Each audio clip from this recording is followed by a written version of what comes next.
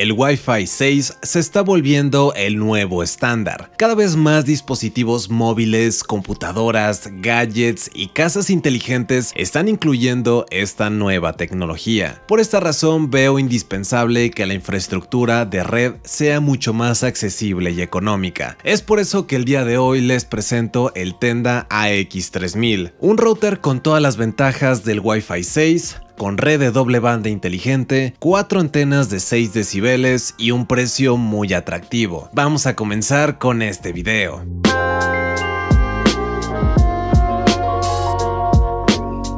Bienvenidos sean todos ustedes, mi nombre es Pedro Julio, de regreso en este su canal Hijo de la Guayaba. Si eres nuevo por aquí, hago todo tipo de contenido relacionado a gadgets, hardware de computadora y teclados mecánicos. Si te interesa algo de esto y te gusta mi contenido, considera suscribirte. Este router tiene un precio de alrededor 1600 a 2000 pesos mexicanos, es decir, de unos 80 a 100 dólares. Dejaré el enlace en la descripción de este video si te interesa adquirirlo. Algo que me gustaría agregar es que Tenda ha enviado el producto para realizar este video, pero lo que están a punto de presenciar es un revisado totalmente honesto de él. Con esto fuera del camino, ahora vamos a comenzar con su desempaquetado. Viene en una caja muy característica de esta marca. Es totalmente de color negro con detalles en color naranja. Vendrá con la imagen del producto, el modelo, la marca y algunas características en su parte frontal. En su parte trasera algunas características características más técnicas además de la comparación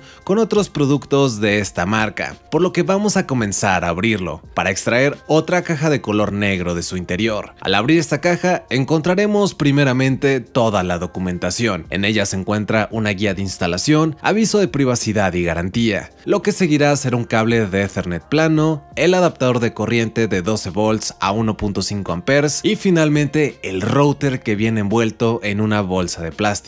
Es un router fabricado totalmente de plástico en color negro mate. Tiene un diseño que es como un de tenda, parece una concha de mar y puedes reconocer que es un aparato de internet al solo verlo. No será muy invasivo donde lo tengas colocado ya que a pesar de sus características y diseño tiene un tamaño muy compacto y un peso ligero. En su parte superior tenemos el logo de la marca en dorado acompañado de un LED indicador de actividad. En su parte inferior tenemos una gran área abierta para la disipación de calor pasiva de este dispositivo, al igual que una pegatina con información técnica del producto y la contraseña para ingresar a él. A los costados de esta pegatina, unos agujeros para el montaje en la pared o en el techo de este equipo. A los costados de este equipo encontraremos más aperturas para la disipación, además de las cuatro antenas. Estas se pueden ajustar fácilmente en múltiples posiciones para garantizar una mejor cobertura en nuestro hogar. En su parte trasera tenemos toda la conectividad. Primeramente tenemos un barril de alimentación,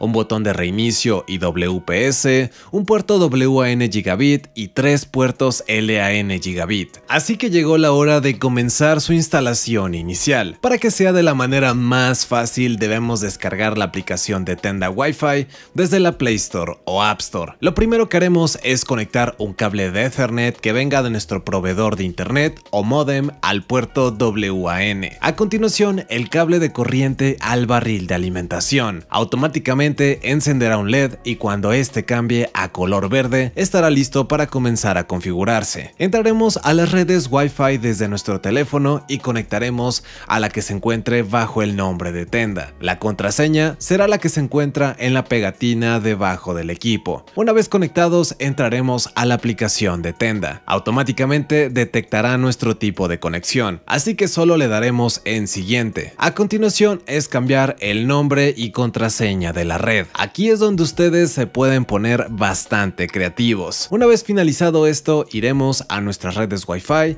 y conectaremos a la red que acabamos de crear. Ya estará listo para comenzar a utilizarlo. Así de fácil. Dentro de esta aplicación también tenemos algunos ajustes básicos del router. En la pantalla principal se mostrarán todos los dispositivos conectados a la red. Dentro de cada uno de ellos podremos establecer un límite de velocidad, notificarnos de su conexión, bloquear alguna página o poner algún horario. Perfecto para establecer límites a los hijos. Regresando al menú principal podemos cambiar a la pestaña de herramientas. Aquí podemos ver información técnica de la conexión, cambiar el nombre de la red y de la contraseña, activar la red inteligente de doble banda, reiniciar el router, opciones de configuración de internet, cambiar la contraseña de administrador, activar la lista negra y apagar el LED indicador. También contaremos con algunas opciones inteligentes. La primera es para optimizar nuestra conexión y darnos el mejor rendimiento. Podemos activar la red de invitados, establecer un horario de internet,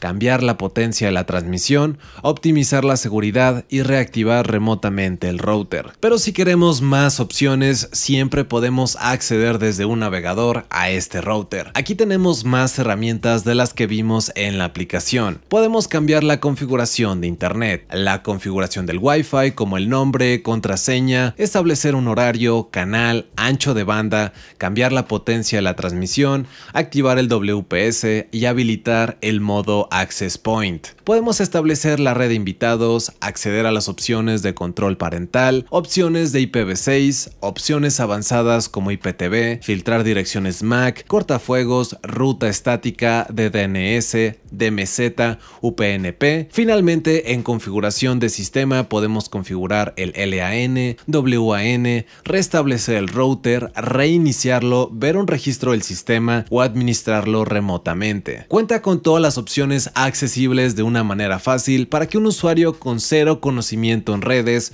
pueda utilizarlo cómodamente, pero también cuenta con opciones más avanzadas para usuarios con más necesidades. Pero, ¿por qué necesitarías un router con Wi-Fi 6? Como les comenté al inicio de este video, cada vez más dispositivos vienen con esta nueva tecnología y en unos años va a ser el nuevo estándar y todos nuestros dispositivos probablemente serán Wi-Fi 6. Pero, ¿qué ventajas trae esto? En este caso tenemos velocidades muy altas de transferencia, con hasta 2402 megabits por segundo en su red de 5 GHz y de 574 megabits por segundo en su red de 2.4 GHz. Cuenta con tecnología OFDMA y MU-MIMO para optimizar nuestra transferencia de datos, disminuir la latencia y permitir conectar muchos dispositivos al mismo tiempo sin perder rendimiento en el proceso. Tenemos el nuevo estándar de seguridad WPA3, por lo que tendrás una red mucho más segura. Cuenta con cuatro antenas de 6 decibeles para una mayor cobertura en toda tu casa. Y esto justamente es lo que sigue probar. La primera prueba se realizó aproximadamente 30 centímetros de él. Para que tengan una buena referencia, mi conexión a internet es de aproximadamente 90 megabits por segundo de bajada y 20 megabits por segundo de subida. Además que el modo inteligente de doble banda se encuentra activado, por lo que cambiará automáticamente entre la red de 2.4 GHz y la de 5 GHz dependiendo de la distancia del dispositivo. Después de tres pruebas consecutivas tenemos un resultado promedio de 94.3 megabits por segundo de bajada y de 20.16 megabits por segundo de subida. Prácticamente lo que ofrece mi compañía de internet. Ahora me encuentro a unos 10 metros del router y hay aproximadamente tres paredes entre donde estoy y el router. Al lanzar la prueba me da un resultado promedio de 93.8 megabits por segundo de bajada y de 20 megabits por segundo de su vida. Prácticamente se ha mantenido igual pese a la distancia. Ahora me encuentro a unos 15 metros del router y tres paredes de diferencia. Después de tres pruebas consecutivas se obtuvo un resultado promedio de 92.6 megabits por segundo de bajada y de 16.23 megabits por segundo de subida. Al igual que la prueba anterior, se ha mantenido igual. Ahora me encuentro a unos 25 metros del router y unas 5 paredes de diferencia. Al realizar tres pruebas consecutivas tuvimos un unas velocidades promedio de 35.8 megabits por segundo de bajada y de 14.17 megabits por segundo de subida. Ya estaba algo lejos de mi casa y seguía teniendo una buena conexión a internet. Dentro de una casa mediana y pequeña será más que suficiente para tener una buena conexión a internet. Tiene un rango y velocidades que muchos routers que he probado no han logrado tener. Este es un producto con muchas prestaciones a un precio competitivo. Su aplicación es buena ofreciendo las opciones básicas que puede necesitar cualquier usuario y con las opciones más avanzadas disponibles en el navegador. Tenemos todas las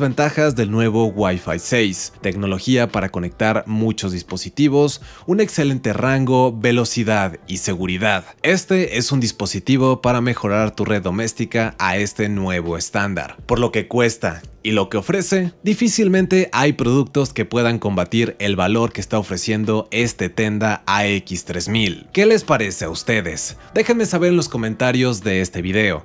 Ya saben dejar su buen me gusta, suscribirse dando clic por aquí, además de darle clic en la campanita para ser notificado de mis futuros videos. Les agradezco que hayan llegado hasta el final de este video y nos vemos hasta el próximo video.